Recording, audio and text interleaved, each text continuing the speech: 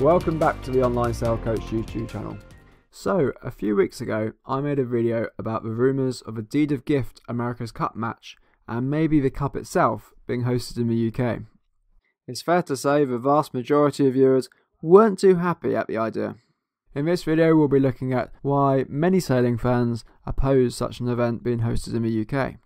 But first, I need your advice. This YouTube channel has been growing so fast recently.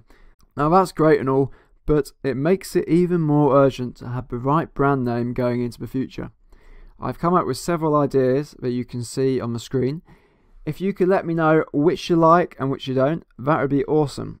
And maybe you like or dislike the current channel name Online Sail Coach. All that would be useful to know. So if you wouldn't mind leaving a quick comment, that would be really appreciated. Right, to the news. News keeps trickling in about a cup event being held in a venue outside of New Zealand, so it's certainly a rumour we should be taking seriously. Just quickly for those who don't know, the America's Cup is usually hosted in the country of the previous winner. But that's not always the case, the most recent example of which was in 2007 when Valencia was the venue after the Swiss team had won the Cup. So let's go into the first article. This reads that Team New Zealand ace predicts bright future as hosting intrigue builds. Team New Zealand veteran Ray Davies is adamant that America's Cup is well placed to push on from its success at Auckland 2021. Ray Davies has said that no hosting decision process will be made until Auckland and the New Zealand government have presented their vision for the event, having been given 90 days from Team New Zealand's success against Luna Rossa on March 17, and that would be weighed up against international alternatives. So all these rumours about a potential deed of gift match in Cowes or an America's Cup hosted uh, in another country, maybe they are just tactical rumours leaked by Team New Zealand or anyone else with an interest to firstly see what the reaction to something like that would be, how the fans would react, and secondly maybe to incentivise Auckland and the New Zealand government to produce a good bid for the event. But there's also the possibility that Team New Zealand generally think that there are better options out there and ones worth looking at. Ray Davies goes on saying it's wide open, there are all sorts of options out there, but we have to try and figure out which is the best one and what is actually doable in this climate as well. It's all a bit tricky, but the intent is there from a lot of people to keep it all rolling as a remarkable event. And you really get the sense from what New Zealand are putting out that they do seem to genuinely care about the future of the event and not just winning it again for themselves. But there's been a huge backlash to the rumour of the America's Cup being hosted in a venue outside of New Zealand. This article reads Why it is a no brainer to keep the America's Cup in New Zealand. The author says they're tired of hearing speculatory comments and articles on where the next America's Cup might be held. The self described nutty crazy fan says it is a no brainer that the event remains in New Zealand. The America's Cup must stay in New Zealand because every man, woman, and their dog, sailor or not, is behind it. And the YouTube comments I got on that last video really impressed on me this view that there's a really strong fan following in New Zealand, potentially more so than anywhere else in the world, and you really don't want to risk making an unpopular decision in their eyes. However, you have to balance that against what's best for the cup, and you have to be open to the possibility that what's best for the cup might not be best in the eyes of New Zealanders. So, my question to you guys is do you think that the America's Cup staying in New Zealand is the best thing for the America's Cup?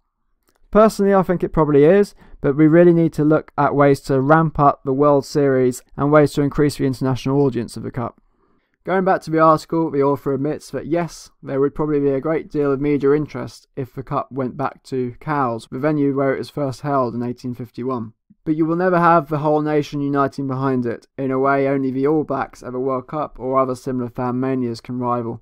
And I agree with her on this point. I don't see the majority of the country getting behind this or even hearing about the America's Cup. Sailing is a fairly niche sport, and like all sports, it's been on a gradual decline. I'd expect it would get a decent amount of interest, but I'd be surprised if more than 20% of the country paid much attention to it. The article goes on saying that when Pete Burling lifted the trophy at around 7pm, the presenters were talking about how far the crowds were stretching.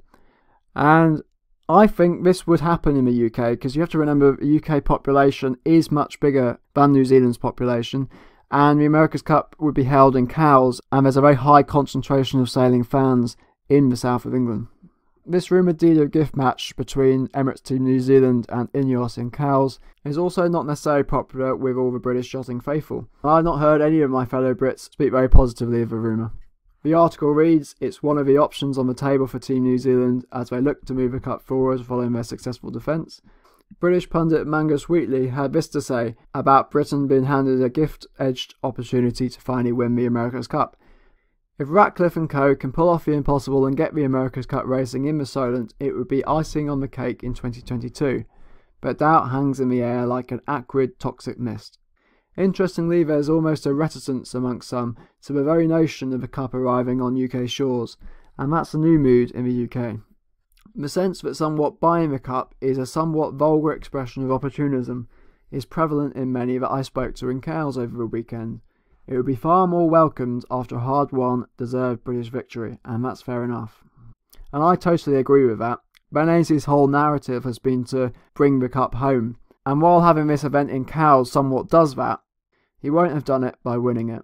And that would somewhat cheapen the message he's been putting out the last 10 years. Personally, I think the Brits should just keep on fighting. They have the potential to win the cup in the next few years, and wouldn't it be a much bigger news story to have brought the cup home by winning it? Magnus goes on to say English sensibilities don't stretch easily to the thought of winning by default. It would perhaps, and I say this through gritted teeth, be a hollow cup event. Although the increased revenues and prestige of seeing those magnificent AC75s blasting around the Solent would be a sight to behold and have the town rocking once again. Magnus says that Cowes would be a terrific host. Will it happen? I doubt it, but in the America's Cup anything is possible. Stranger things have happened.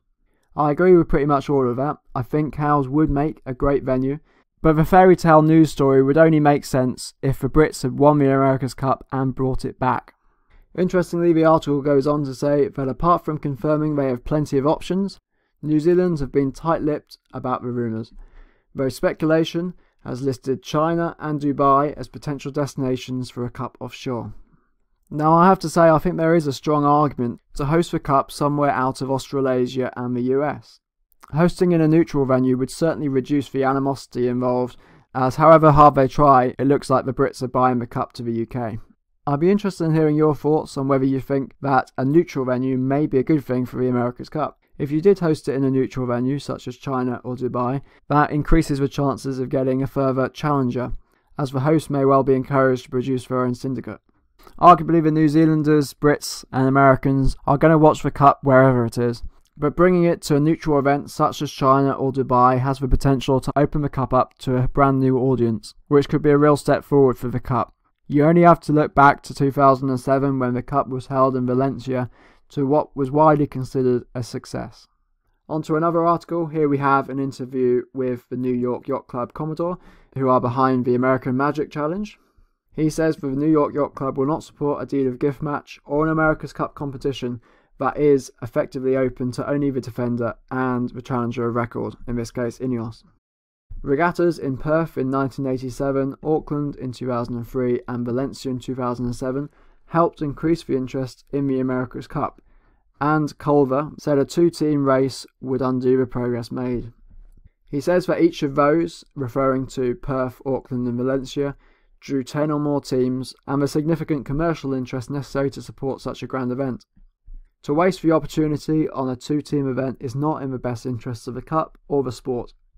Luna Rossa helmsman Jimmy Spithill is certainly a fan of keeping the Cup in New Zealand, which is perhaps not a surprise considering he lives next door in Australia. Spithill said he would be surprised if the old mug wasn't defended in New Zealand again. Look at the amount of time and money put into this team. I would have thought it would be an absolute no brainer to hold it here. Certainly, the big advantage of keeping it in New Zealand is that all the infrastructure is there. It would help with the continuity because all the teams will want to carry on and they all have bases set up there. It would actually be a cheaper event for the New Zealand government to run because a lot of this is already set up. Now, I thought it would be interesting to have a quick look at some comments on my last video, Next America's Cup in the UK. A lot of the comments share this tone. Win the cup first, then you have the right to sell it in the UK.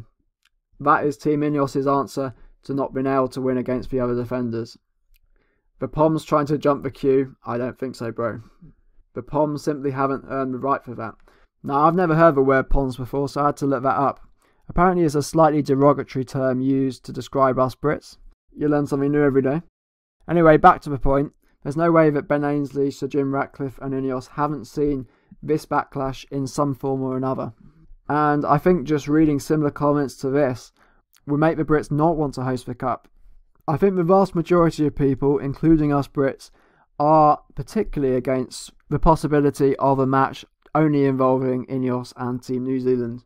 Briss Brit says he would love to see an America's Cup in my local pond. That said, I feel that any competition that doesn't include a proper field of competitors is of dubious value. And he brings up the interesting point that Ineos still need to find out if their boat is actually any good. I think if the regatta was raced in Cowes next year, the odds of the Brits winning would be very low. Here's another comment from Tom, a fellow Brit. Ineos have complained about how Luna Rossa acted as challenger of record. Now they're in the same position, they're excluding the others. Bad form. I agree with the sentiment of this, but I would be very surprised if this event happens and the Brits are behind it. Tom makes a good point that a one on one regatta would be dead boring, and we sort of saw that in the last America's Cup. Inviting the other teams plus newcomers would make for an extended and interesting event, even if the final result might end up being the same. Why couldn't we have some fleet racing between these AC75s in other venues apart from New Zealand in the lead up to the full America's Cup in 2024? Personally, I think we should be keeping the Cup in New Zealand next time round, but we seriously need to ramp up the World Series. I know it was hampered last year, but I still don't think we were doing enough. As we're keeping the AC75 class this time round, we now have eight boats available, and this is a great opportunity to allow other countries to join in the racing and to run some World Series fleet racing events in them. Now, I'm not an expert on the safety implications of running such an event, so it would be interesting to hear from you if you think such an event could happen. Having at least two of these fleet racing events every year in the lead up to 2024 would really keep the interest there and build the interest worldwide for the Cup. So that's everything for today. If you like the video, please leave it a thumbs up. It really helps the channel and it's quick and easy to do. As always, I'd love to hear your thoughts and if you have any name ideas for the channel, you can find them in the text below this video. And it'd be great to hear which ones you like and which ones you don't. And feel free to come up with suggestions of your own. See you next time.